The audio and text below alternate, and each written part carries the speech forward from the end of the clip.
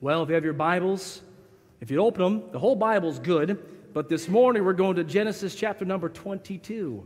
Genesis 22, I am so glad to be back at First Baptist Church. I had a tremendous time with Brother Summers and Carrie and uh, Patty and Ella and Lily and McKay. And I tell you what, those two little girls, Lily McKay, they're just spark plugs and they're just full of energy and life and love. I love seeing the ministry there. I'll share some more of those things tonight. Love spending the time with Brother Bays, one of our deacons was able to go with me. And Brother Rodney Rupel was there as well. And uh, with that combination of men and personalities, it's a surprise we didn't end up in jail but we didn't. I was touched by some things I'll share tonight and touched by the generosity of the Ghanaians, touched by the culture, touched by uh, what John and Patty are doing. There was just a great, a great uh, time that I had. I was praying for some things, like I said, I'll share tonight. Um, but I was struck by a couple things this morning as we're in the middle of Stewardship Month. Again, we see it on our side walls His blessing, my obedience. Uh, we once again, I, I, want to this morning uh, talk about that principle of biblical stewardship. Okay, I break it down. We're going to talk about money. You're like, oh, great, come on, Pastor, not about money. It must be the church is really in a whole heap of trouble if Pastor preaches on money for a whole month. But see, that's not the point of Stewardship Month, is it now? The Lord will sustain His work. All right, you can't stop. I can't stop God's work from going forward. This principle that I think we find in this chapter here of Genesis chapter 22 is not so much for the church as it is for you and for me as a Christian and as a child of God. I uh, don't wish this, but uh, in Ghana, I was surprised by the amount of churches that were quite physically everywhere. There are more churches, I would say, there, at least in the city of Kumasi, of two, two plus million people, than there are here in Saginaw. In one section where Brother John is ministering in a Kasi school, it's a school, around that, what, about a block and a half, Brother Bays, I think there were six churches, large buildings. You see, in, in Ghana, many of the, the preachers preach a, a what's called a prosperity gospel. That if you give me money, I'll pray for you and you'll be blessed. And they believe it and do it. I heard of uh, uh, Miss Patty was telling me one story about one of her church ladies had come and, and uh, a pastor that she had known, this lady had known, had said, You need to buy these special blessed sandals. And if you were to buy these sandals, then your life would be blessed, as would, I'm sure, the preacher and his wife's life as well. And this, the, this lady, this church member of, of the, the Summers, was wise enough to know I think maybe these people just bought too many sandals at the market. And in one sense, if we preach prosperity gospel, prosperity gospel, uh, we could focus on that. I'm not doing that. That's not right. It's not biblical. But it raises a whole lot of money. People believe it. There are street preachers all over the place. In fact, um, Brother Bays and I had the privilege of being woken up to one at 5.30 in the morning, right outside our window, or within about 30 feet, right, Brother Bays, somewhere in there? And in case we didn't hear him, he had a microphone and a portable speaker as well. I could not understand most of what he was saying, thankfully. I did notice when he switched to speaking in tongues outside my window at 5:30. It takes a lot of grace not to get out of your bed at 5:30 and tell him what you're really thinking. So, as we approach this topic again, there is some truths I believe in here that, that for some will say, Well, Pastor Howell, I wish you'd leave this alone. And, and I can't because God brings it to us. And I find in this passage, Genesis chapter 22, a special passage, a unique passage. It's the passage of Abraham when God called him to offer up Isaac. What a powerful passage. For any parent, any father in this room even those of you who may not be a father or a mother can relate to the tremendous request that God is going to make of his servant, Abraham. To, to see uh, just the, the weight and the gravity of the situation. Someone said this I have held many things in my hands, and I have lost them all.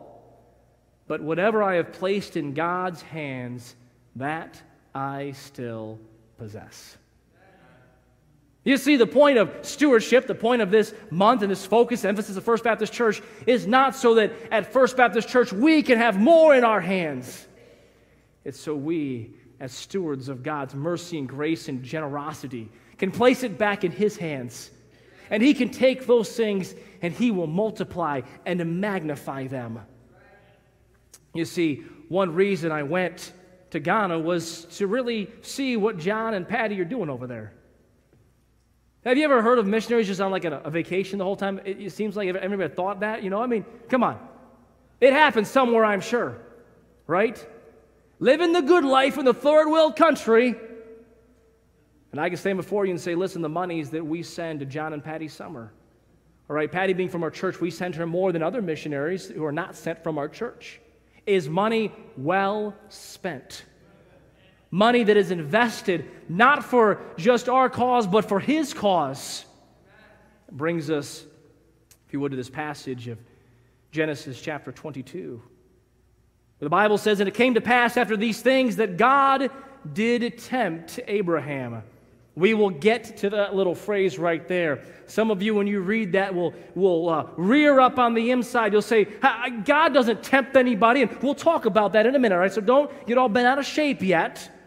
All right? Uh, stay with me in this, this morning service, all right? Uh, but I want to mention that so when we get back there, you're not surprised. God did tempt Abraham and said unto him, Abraham, and he said, Behold, here I am. Probably the best response we can have when God calls our name. Here I am. Samuel had the same response Here I am. Right? Here I am.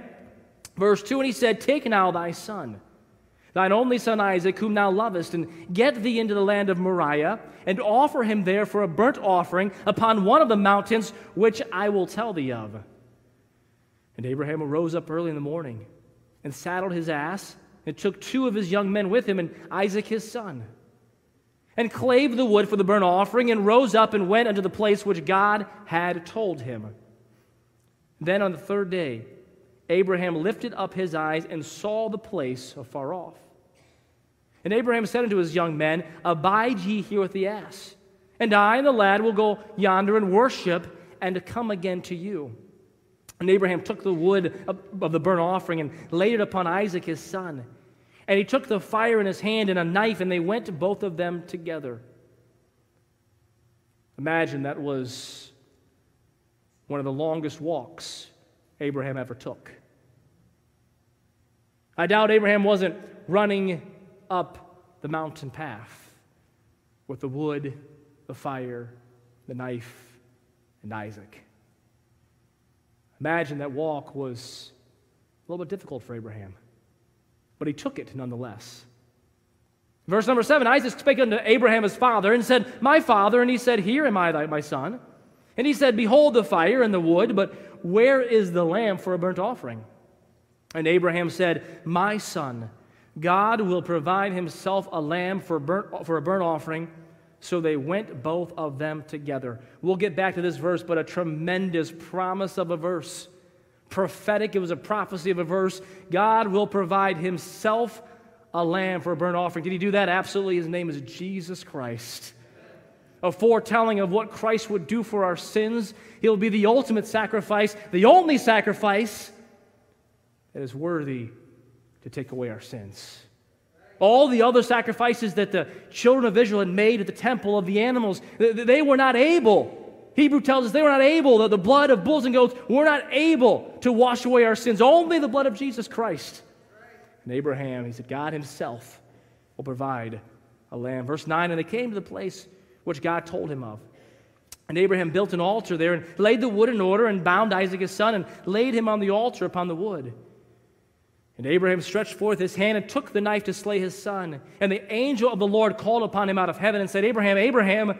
And he said, Here am I.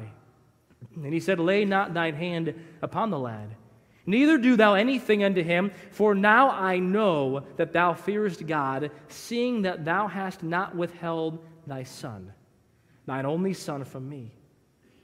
And Abraham lifted up his eyes and looked, and behold, behind him a ram caught in a thicket by his horns.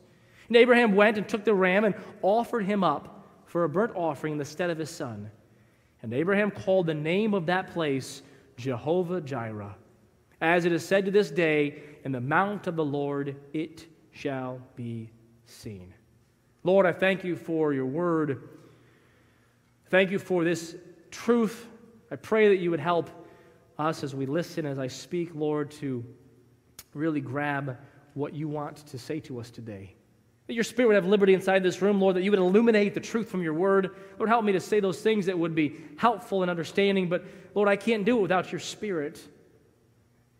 Jesus said, Without me, you can do nothing. Lord, I ask for your help this morning. Help us to be listeners, to be good to listeners and good soil. Would your word not return void? In Jesus' name I ask. Amen. We have here a familiar, a familiar account, a familiar story. One that if I, when I talked about this story, most people have heard of this before. Maybe you've seen a, a drawing or rendition or something along this, and there's some paintings out there, there's some drawings out there. But I have often thought that some of the most familiar passages hold some of the greatest truth, and those we sometimes miss because we, quote, know them so well. This morning, I want to look at this passage if, with the Lord's help, and I believe it'll be this week and next week, at the stewardship banquet, when we finish up this particular passage of Abraham and the offering of Isaac. of course, I want to give you a little background on Abraham before we, we uh, look exactly at the story, because I believe knowing some things about Abraham will help us in understanding what God has asked. Because sometimes, does it not seem in the Bible that these characters are larger than life? That, that Abraham, what a man of God, the father of the Jewish nation. Abraham. I could never be like Abraham. I could never live like Abraham. I could never have the faith that Abraham had. Yet we are called to the same faith. And because of the Holy Spirit, we have access to more things than Abraham. And yet in our minds, he's way up here. And at the, at the judgment seat, you know, uh, Abraham will walk through and just be piled with treasures, and we'll get our small coins. And yet, because of Jesus Christ, once He has saved us and His Spirit lives inside of us, we are heirs to unspeakable riches. And so this morning, I want to begin by maybe giving you some background on Abraham. And maybe point out that, that his beginning was a little more humble than perhaps we realized. He began with a, a name of Abram, which means exalted father. God changed it to Abraham, the father of multitudes. His wife Sarai, princess, and was changed to Sarah. If you would, hold your finger in Genesis, and we're going to turn a few places to see the life of Abraham a little bit. If you would, first of all, turn to Joshua chapter 24. Hold your finger in Genesis 22, or put your Bible marker there, your I Believe God Bible marker, and turn to Joshua chapter 24. We're going to find out, first of all, that Abraham and his religion, his background, he came from a family that worshiped false gods. Abraham was not born into a family that worshiped God, he was born into a family that worshiped false gods. Some of you, by, being, by the nature of being born into a family that already worshiped God, have a step ahead of Abraham. In Joshua chapter 24, verse number 2, Joshua said unto all the people, Thus saith the Lord God of Israel, Your fathers dwelt on the other side of the flood in old time, even Terah, the father of Abraham and the father of Nahor, and they served, what are the last two words? Other gods. They didn't serve Jehovah. Abraham didn't learn about serving God necessarily from his father and grandfather. He came from a home where they served the false gods. And back then in religion, it was, it was extremely important in, in life in fact, you may remember that uh, when uh, Laban's gods were stolen, okay, they were stolen, he traced it, he raced after them because if you were to steal someone's gods, they would lose all blessing in their life. And so all his blessing in life was gone because his false idols, idols and gods were gone. That's the culture that Abraham came through. And yet, we in our minds think, well, Abraham from a young man just believed God. Find that Abraham was in an environment where there were false gods where there are people that bowed and worshiped false things. Yet, if you turn back to Genesis 22, hold your finger there and, and flip back a few pages to Genesis chapter 12. We find in Joshua, he gives us the background a little bit on, on Abraham's family and the religion there. And in Genesis 22, uh, we have the story of Abraham and Isaac, but in Genesis 12, in Genesis 12, we have the beginning of the story of Abraham. In Genesis chapter number 12, it begins with God speaking to Abram. This is our introduction to Abram. And in Genesis 12, verses 1 through 3, or 1 through 4, now the Lord had said unto Abram, Get thee out of thy country, and from thy kindred, and from thy father's house, and unto a land that I will show thee. And I will make of thee a great nation, I will bless thee, and make thy name great, and thou shalt be a blessing. And I will bless them that bless thee, and curse him that curseth thee, and in thee shall all families of the earth be blessed. Verse 4 So Abram departed, as the Lord had spoken unto him. And Lot went with him. And Abram was 70 and 5 years old when he departed out of Haran. See, somewhere between the time that Abraham was young and the time that God spoke to him, Abraham turned to God Jehovah. So much so that when God spoke to him, he said, I will leave my family, I will leave my country. I will leave these things behind and I will follow the Lord Jehovah Yahweh. And even though my family may worship false gods, even though I'm in a land that worships, worships false gods and false deities, I will follow the one who I trust in my faith in, the true one. When we're over there in, Ghana, I get to meet many of the church members there. It's a lady in their church, a lady and husband actually, and her name is, is Amanda. I believe they met her when she was in the university and now married and, and doing a great thing and, and really being discipled and doing well. She told me her testimony one night, I think it was Thursday night, in the ride to the Wednesday night or the Thursday night service, midweek service. Her father, Amanda's father, is a king of a tribe over there. He comes, she said, to visit every, like, or twice a year. He lives in England, and the king of the tribe comes back to the tribe twice a year. What she said. She talked about how she was saved and, and then what happened with her family because the, the very common religion is what they call traditionalism there. The drums and the worshiping of the dead and libations, things like that, are all traditionalism. It's what her family was involved in. And I asked her, I said, okay, I said, well, Amanda, when you got saved, what did that mean to your family? You see, here, sometimes in America, there's not much result of us getting saved, right? We kind of live in the whatever works for you mentality. And, and if you want to do that, that's fine. Just don't rain on my parade. And if you want to go to church all the time and want to be one of those crazy lunatics, that's fine. You do that, but, but don't worry about, you know, the rest of us. She said she was not disowned.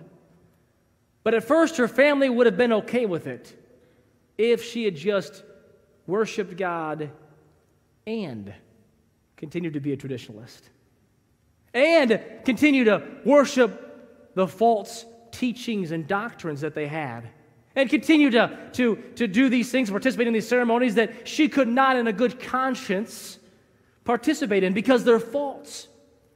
And Abraham, I see, takes away and he becomes a monotheist, he becomes a God worshiper. See, Abraham his religion, his family was not the same, but he stepped out by faith. You don't have to turn there, but there's four places that Abram, before he's called Abraham, begins to recognize the God of the universe. In Genesis 14, verse 22, he says, And Abram said to the king of Sodom, I lift up mine eye unto the Lord, the most high God, the possessor of heaven and earth. It's God Elyon. It's a name of God. To this day, it's a name of God. And Abram recognized this God as the Most High God. In Genesis chapter 17, when Abram was 90 years old and nine, the Lord appeared to Abram and said unto him, I am the El Shaddai, the Almighty God. Walk before me and be thou perfect. In Genesis chapter 21, just if you look at if your finger's still in chapter 22, in, in chapter 21, in verse 33, and Abraham planted a grove in Beersheba and called there on the name of the Lord, the everlasting God. El Olam, Yahweh. Abraham knew God. He didn't have a Bible, but he knew God. He didn't have a church, but he worshiped God. He never participated in an offering in a building, but he gave to God. You see, his religion, his belief in God contrasts sharply with the religion of that day. He believed God to be the God of the cosmos, supreme judge of mankind, controller of nature, highly exalted and eternal. And whenever God spoke to him, Abraham immediately obeyed in faith. We don't have any record of Abraham not immediately obeying when God spoke to him. What an example of faith. You see, when we come to Stewardship Month, it's not about me, it's not about the church, it's about God. It's about Him speaking to us. It's about our faith in God and what He's, he's done for us. I see His religion, I see His relationships. At 75 years old, He leaves His family, and God gives Him a covenant. Somewhere between there and, and 85, God promises him a son. At 86, he marries Hagar and has Ishmael. At 99 years old, he's promised of Isaac. And 100, Isaac is born. From 75 to 100 years, 25 years old, God is making these promises to Abraham and Abram that have not been completely fulfilled yet. My question how long do you wait for God's promises? Pastor, I prayed three days. I've been reading my Bible for a whole week. I'm praying for my family for two months. How long will you wait for God's promises? I see seen Abraham, I see a longevity of his, his waiting and promises. And then we come now to the background of this story. Abraham, he's right around 115 years old. Isaac's about 15 in this story. Abraham's 115. He's now been probably following the Lord, at least in a physical sense, for over 40 years.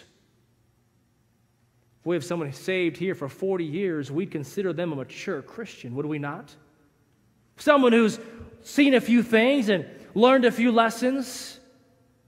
And yet, in just two verses before this test by God, Abraham reaffirms his belief and says, I serve the God, the everlasting God, the one, and he builds a grove in Beersheba. And then this morning I see the request to Abraham. Verses 1 and 2 of Genesis chapter 22 where God, where the Bible says God did tempt Abraham. now we know because of James that God does not tempt us with evil. Every man is tempted when he's drawn away of his own lust, and of his own lust, when that's conceived, bringing forth sin, and sin, when it's finished, bringing forth death. So it was not a sinful thing, it was not a temptation as we view temptation. If you look at the word, it means that, that God gave him a, a test. Like we do at school every week, it seems like. To the students every day, every hour. Where are you at? Yeah, the teachers, when they give a test, they're not trying to trick the students or trying to cause the students to cheat or to fail. They just want to know where's this student at? Have you been paying attention in class? Have you been following along in class? Have you been sleeping all the time? Or, or what do you know? You find out from those tests a few things. You find out if you're a good teacher or a bad teacher. You find out if people are falling asleep or not. And so God gave Abraham a test. Be honest, we'll look at that test, we're like, that's not the test that I want God to give me. Right? Now, let's just be honest for a moment here as, as humans and as parents and as people. We're like, God, I don't like your test, God. I don't like it. I choose a different test. I think it's a ridiculous test you give me. Not Abraham not Abraham. He didn't have those thoughts. The Bible tells us none of that. The Bible says that God came to him and said, Abraham, I'm looking for a personal request. I, I take now thy son. Boy, if that was you or me, say what? I, am sorry, Lord. I thought you said, Take my son. I, I must have misheard you. but God clarified real quick take, take now thy son, thine only son, Isaac. Yeah, that's what he said. Whom thou lovest. In case you missed it the first two times. All right? Thy son, thine only son Isaac, whom thou lovest. It was a promised son, it was priceless. And he asked for something of great consequence. Offer him there for a burnt offering. Lord, could have been something else. Abraham was a rich man. He was kicked out of countries, he was so rich. Lord, I'll give you all my cattle. I don't care about being rich anymore. But, but Isaac, my son, whom I love, the son of promise, uh, then the natural, the natural, not spiritual, but natural response. The way God asked it, it was asked for a one time gift. A burnt offering is not something you offer two times, just one time. You only offer once for a burnt offering, it was unrecoverable. You see, I'd say this that God's request at first seemed difficult, seemed unfair, and seemed unjust. My question this morning, as we start to close, is what is your response when God's requests seem difficult, seem unfair, and seem unjust? Notice I didn't say it was difficult, it was unfair, and was unjust because it wasn't. We know the end. But Abraham didn't know that when he started, did he? He only had this request from God. A rich businessman and an attorney were traveling around the world. They saw many impressive sights, but agreed that something they saw in Korea was the most impressive of all. One morning, as they walked along a country road in Korea, they saw a boy pulling a plow which was steered by an old man. It amused the attorney so much that he insisted on taking a picture of the scene with his little pocket camera. Later, he showed the picture to a missionary in the next village, remarking about the spectacle. Yes, said the missionary, it does seem like a very strange way to plow a field, but I happen to know the boy and the old man well. They are very poor. However, when the little church was built here in the village, they wanted to contribute something. They had no money. They had not grain to spare, and winter was coming on. So they sold their ox and they gave the money to the church building fund. And now, minus the valuable animal, they have to pull the plow themselves. The men looked at each other for a moment, then the attorney said, But what a stupendous sacrifice! Why did you allow it? Mr. responded, Well, they did not feel that way about it at all. In fact, they regarded it as a great joy that they had ox to give to the Lord's work. See, sometimes God may ask a request. Seems difficult, seems unfair, seems unjust. But I love the response of Abraham, and we'll close with this. Verse number three, and Abraham rose up early in the morning. Of all the days to miss your alarm, of all the days to delay, of all the days to have one more meal and one more walk and one more talk, that would have been the day. But not Abraham. You see that? God spoke to him and he obeyed. God speaks to you and to me. Do we have the same response that Abraham had? He didn't grow up in a Christian home. He grew up with a bunch of pagans, but he started to believe on God. The God of the universe, his faith was so strong, his belief in God, I believe God, so strong that when God spoke, he obeyed. Just like that. Lord, I thank you for your word, for Abraham. Lord, I ask that you would help us to have the same response of Abraham.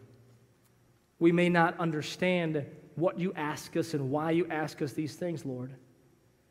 Lord, may we by faith follow you. May we not delay. Lord, may we not try to rationalize in our human thinking, but trust you. What if you're here this morning? I wonder if God spoke to your heart this morning. Maybe God has asked something of you that seems to be hard, seems to be difficult or unfair or unjust. And really, what you need to do is just obey, like Abraham. I wonder if there's somebody here this morning that said, Pastor, as you spoke, God spoke to me this morning. Would you pray for me that, that I will obey God the way that He spoke to me this morning. Maybe something I mentioned, something I didn't, but you say, Pastor, would you pray for me? God spoke to me this morning. Would you pray for me when you pray in a moment? Slip your hand up, slip back down. I'll see it. Now, amen. Amen. I see that. Amen. Amen. Amen. I wonder if there's someone here who, if you died today, you don't know that you'd go to heaven. You've never asked Jesus to save you from your sins. Maybe you know about God, know about Jesus, but you've never trusted Him. And we'd love to open a Bible and show you today. Love to pray for you right now. What if you'd say, Pastor Howell, if I died now, I don't know, then I'd go to heaven. Would you pray for me when you pray for the others? I'd like to know that. Slip it up, slip back down, and I'll see your hand. Amen. I see that hand. Amen. And Lord, you've seen these hands. Lord, you know our hearts. You know the struggles that we have sometimes. But Lord, thank you for the example of Abraham and really, Lord, your strength. You've never failed us.